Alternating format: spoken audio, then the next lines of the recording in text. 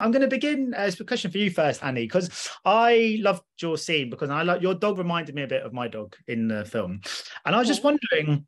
I always wonder when people work with animals, even briefly, is it really sad when you have to say goodbye? Like you can't text afterwards and catch Oh, up. very It's a sad. fleeting- It's a fleeting moment. This quick bond of an animal, then it's like, see you later. Yes, it's very sad. You bond, you do bond with. Um, I'm a love dogs. I Mm. love animals, and um, when I was there, I missed my, you know, my pets.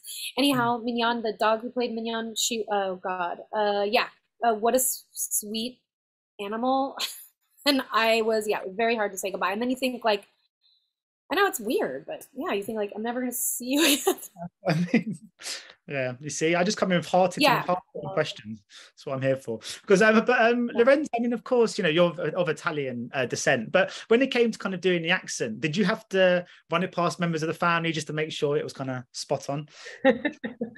um yeah i think i were i i knew a few italians so i just wanted to run it by them and i had worked on it previously and and kind of had a little bit of a base to go through and i and i wanted it to be as real as possible because i was i'm so scared always when i when i do accents that they're actually believable and they're not half asked you know there's something i i'm quite a perfectionist so i just i also really wanted to add to the big energy that Angela had as a, as a person. So I think the accent was definitely an extension of that. So yeah, I did run it by a few Italians and, and, it, and it was approved, thankfully, or at least that's what they told me. So I'm happy with that.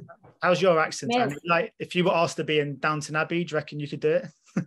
Oh my God, I Oh love that show. My British accent sucks. I, it always comes out like half Irish, half Latin. Like it's not even funny. My family is Italian. My and uh, I felt like she when I heard Lorenza, I it was it was actually it's like the best one I've ever heard. It was so real. It was so good. That's good to know that the hours paid off. Oh yeah. No, uh, it's just I it's kind of stunning how well she did that. It's pretty pretty awesome. Thank Just- you. Not everybody can do that. That's a very difficult accent. I was going to ask. I mean, Lorenzo, you said before about the kind of characters were quite kind of larger than life. Is it quite when you're in a sort of a, a, a film like this, even though the kind of stakes are high and the, the the narrative is, you know, it's quite it's a detective story with murder and stuff like that. Yeah, yeah, yeah. Quite fun having that kind of license to be quite heightened with the character and to be Yes. yeah quite creative with it, I suppose. I yeah, I love it. I I'm quite big. I think. I mean, I tend to just come on with like come on strong, and I have a lot of energy. And it's you know usually the notes from the directors are like just just just great and just tone it down. It's usually that. Um, so it's definitely a treat when the direction is ham it up. Like there's there's never oh, no pun intended. Um, but it's it's a treat to get to do that and and still try to find the challenge there is to make it real, like as big as you can go, but have it be grounded so that it's not completely out of line with what the story that we're trying to tell. And it is a murder, but I think Jon plays such an energy that he's surrounded by characters like Eve and Angela and the Countess that are all larger than life, yet have a step up ahead him. Like they already know what's happening, even though we're all cuckoo. And he's kind of like the nonchalant, like I've got it down.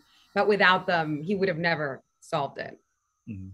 And what do you guys think it is? I'll ask you first, of Annie. I mean, about this character of, of Fletch that makes him so such an everlasting figure in kind of novels and on screen. I mean, he was as funny, you know, when he first hit our screens a few decades ago as he is now. And I feel like you could probably do another Fletch movie in 30 years and it would still land. What, what, what do you think? Why do you think this audience keeps gravitating towards this this man? I think it's because he makes light out of dark, sort of. He's just has this sort of delightful attitude and energy um, in these sort of darker situations.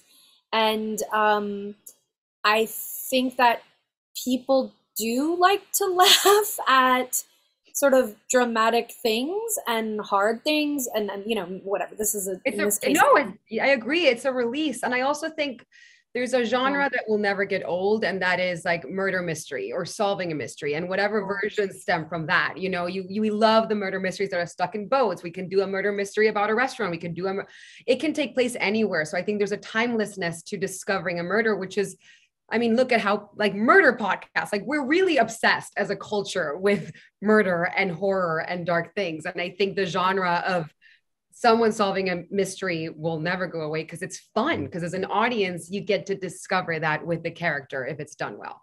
Yeah, no, we Yeah, are. And we are- also, he's he's so witty, and Mhm. he's just it's just so fun to watch him. The, his character go through these experiences. He's- He's just so witty and fun to watch. Yeah. No, we are obsessed with murder. I don't know what it says about all of us, but we we just are. It just makes good telly and good films. Uh, and this is one of them. Thank you so much for your time today, guys, and best of luck with the release of the movie. Cheers. Cheers. Thank you. Thank I you. love saying cheers. Ladies and gentlemen, you're watching Hey You Guys! Hey, you guys, huh? Hey, you guys. Is that from the Goonies? It is indeed, yes. Nice. Hey, you